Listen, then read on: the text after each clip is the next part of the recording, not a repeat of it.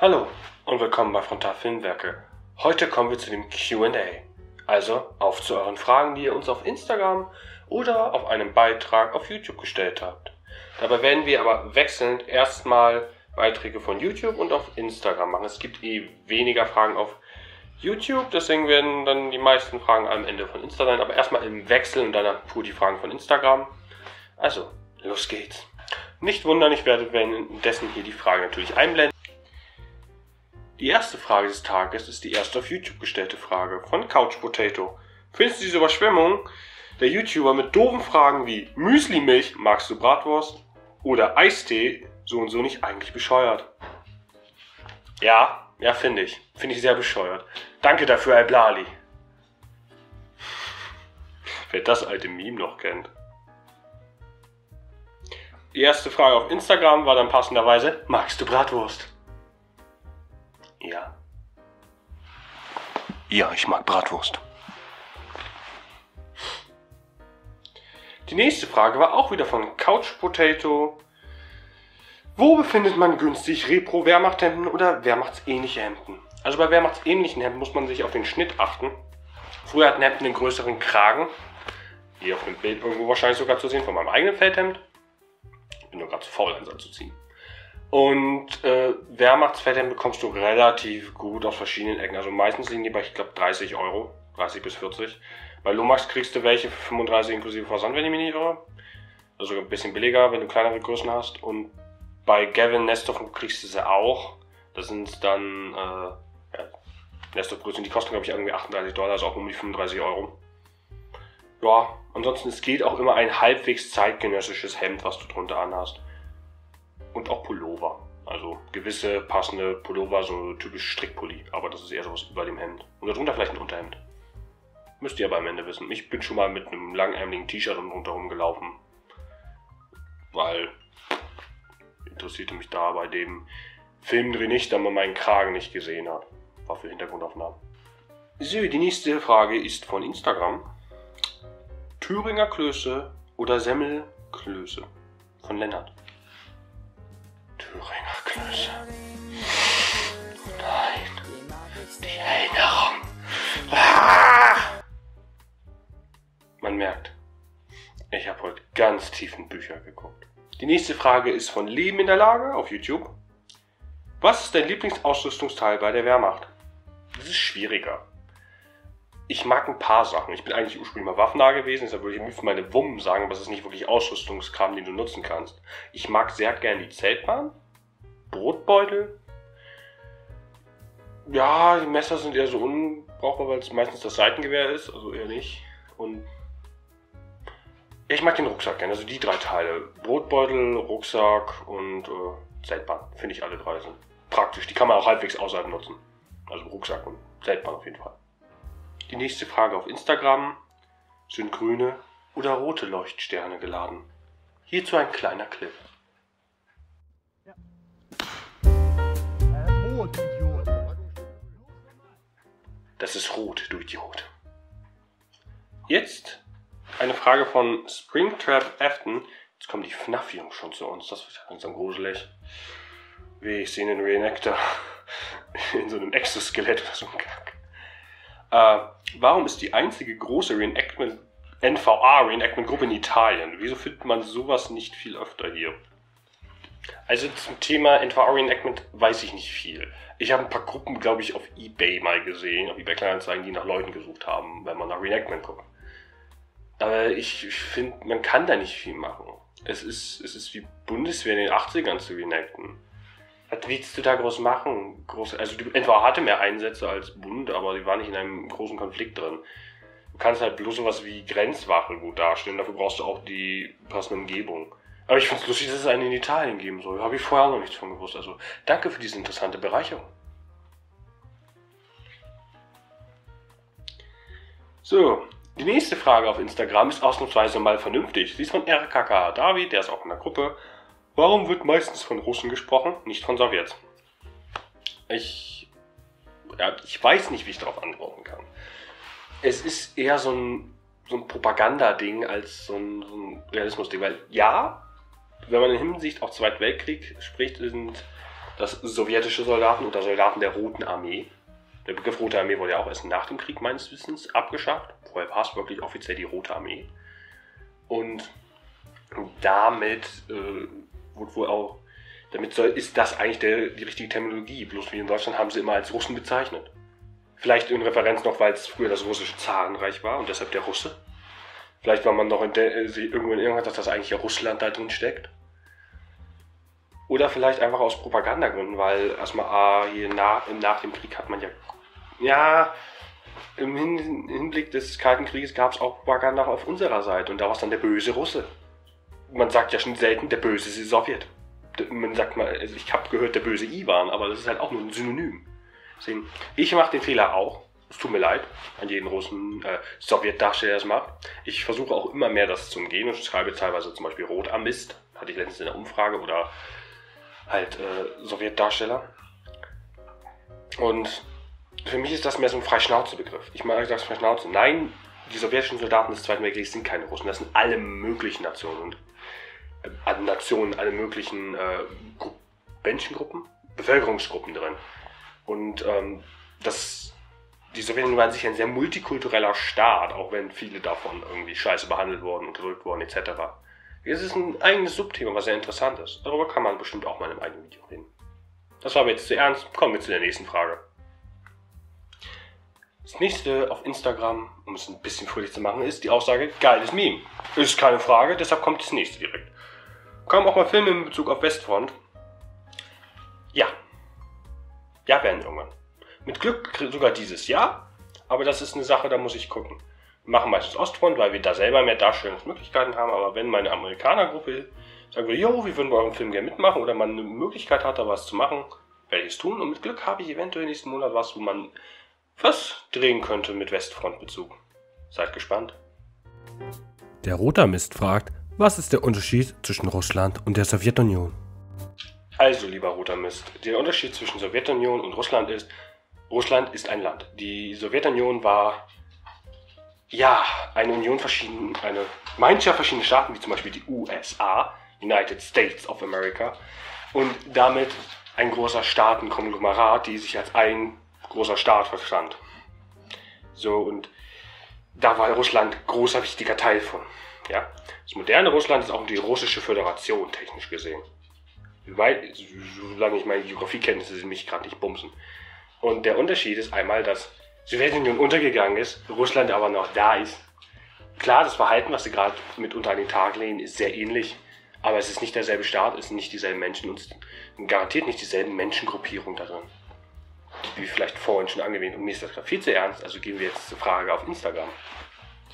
Da der mächtige Bär viele Fragen uns auf Instagram gestellt hat, weil er eine absolut süße Nudel ist, kriegt jetzt die Speed-Bärenrunde. Wann machst du gutes Reenactment?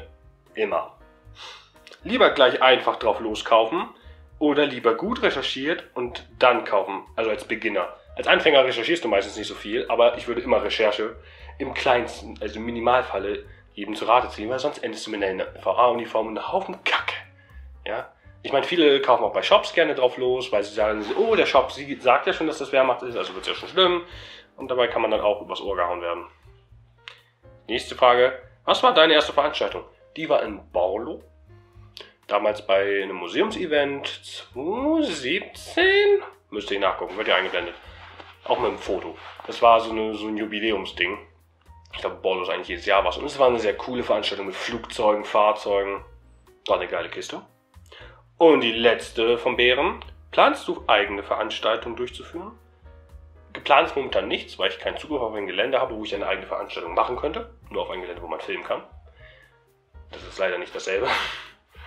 Ähm, ich würde aber gerne. Aber ich helfe auch jedem, der eine Veranstaltung macht, gute Russen oder gute deutsche Darsteller ranzuholen, beziehungsweise würden wir auch als Gruppe immer wieder als Deutsche oder Russen halt auftreten. Also als Russen wurden wir schon zweimal eingeladen und machen wir gerne wieder, weil wir haben einen Haufen guter Jungs dabei, die auch gut Russen darstellen können. Und wir haben Kontakt zu einer wundervollen Russen-Truppe der 75. Garde. Also, wenn ihr da Interesse an Russendarstellung habt, meldet euch beim RKKA David auf Insta, der ist so ziemlich deren Frontmann. Die haben keine wirkliche Leitung, aber sind so, ist quasi deren Frontmann. Oder man fragt beim Rotermisten, der ist da auch mit drin. Das ist lustig, dass ich dem einen eher rate als dem anderen. Obwohl der andere eine größere Präsenz hat, aber egal. Das war die Bärenrunde.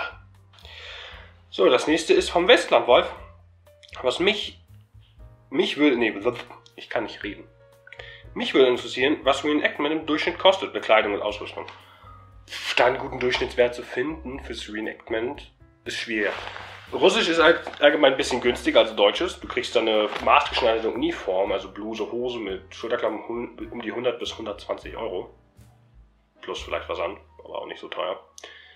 Und bei Ausrüstung ist das auch nicht so teuer, aber bei Deutschem 400 plus musst du mindestens rechnen. Und das nur für Uniform und Ausrüstung. Wenn man Glück hat, kriegt man Sachen billiger und das ist halt nicht schlimm. Und es ist auch nicht schlimm, wenn du nicht alles am Anfang hast, dann holst du es dir peu à peu. So, ich habe eine Frage von Bären übersehen, also hier noch eine Bärenfrage. Uh. Lieber WH oder Sowjetdarstellung? Darunter ist übrigens direkt ein Kommentar vom RKK David. Danke für diese wundervolle Formulierung. Ja, danke Bärchen für diese Formulierung. Und danke dafür, Aibladi. Äh, tatsächlich finde ich beides gleich gut. Probieren wir was Neues. Finn-Darstellung. Das kommt auch noch. Dann jetzt noch eine Frage vom Kratmelder. Wann wird PW zugeben, dass sie von dir klauen? Nee. Wird, wann wird PW zugeben, von dir zu klauen? Ich glaube nicht. Ich glaube, es ist eher so zwei Gruppen, ein Gedanke. Die haben ja auch gewisse Zeit zu vorbereiten für ihren Krams. Deswegen, vielleicht haben sie es durchgemobst. Ich aber unwahrscheinlich aus, weil diese eine Videofrau wer anspricht. Das sind die beiden um die Stahlhelme. Die haben mich einen Monat vor dem gemacht. Also das ist so.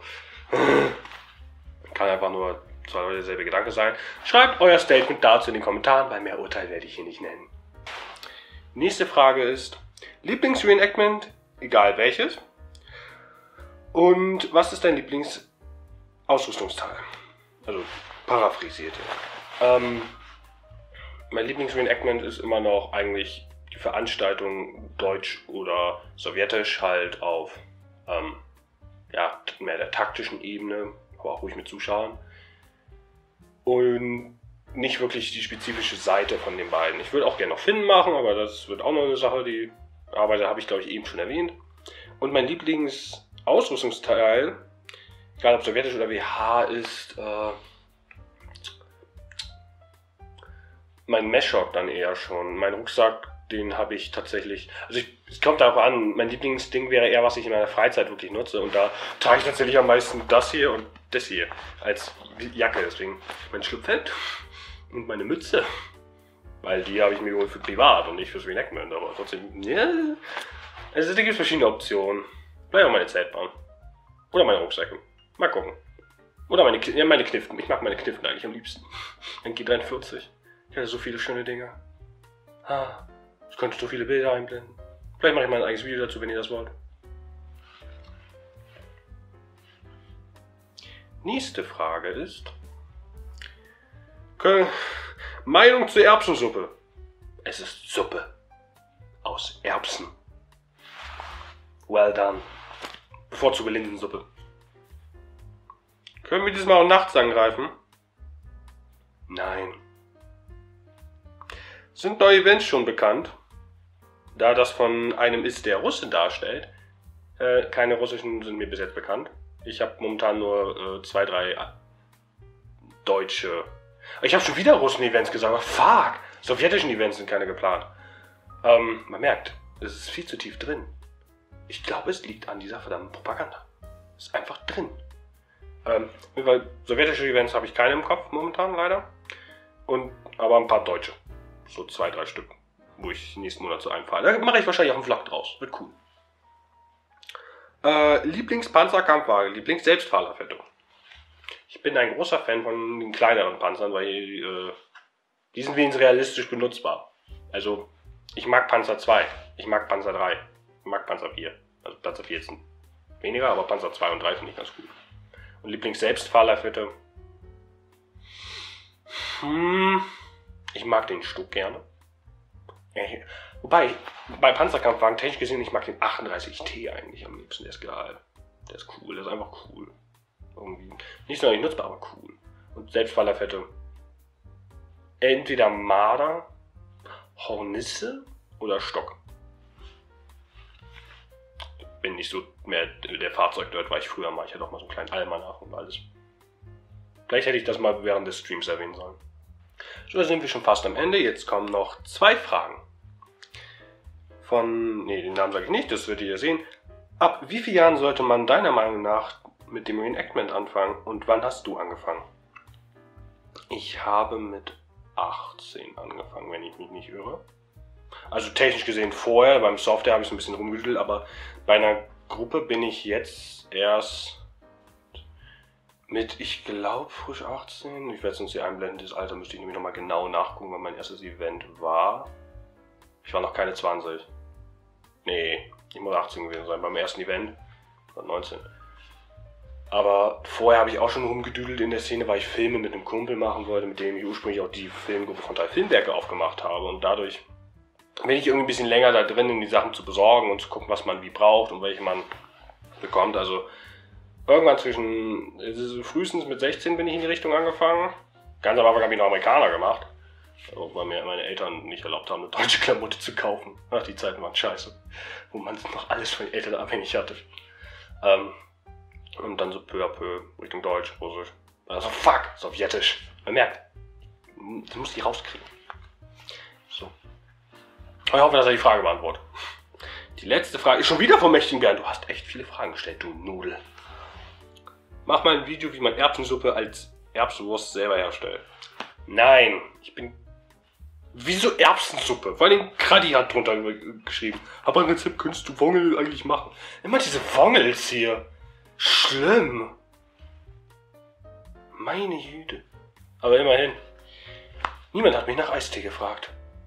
Ich glaube, ich mache mir gleich einen.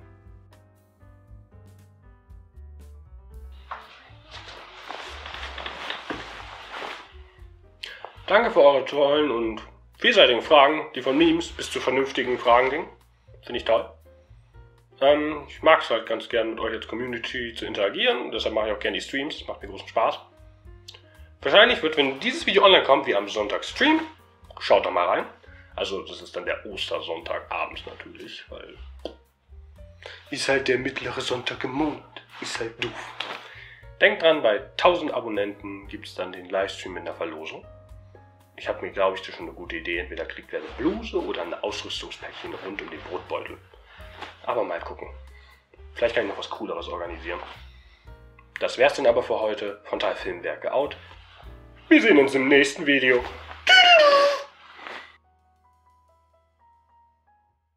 Man merkt, mein Fokus ist auf Geschichte und mein Hund läuft gerade unten rum. Ich hoffe, man hört ihn nicht.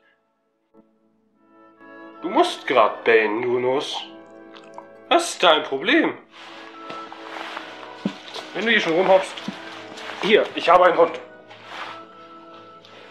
Und jetzt geh woanders hin. Bell hier nicht rum. Und da ist er her.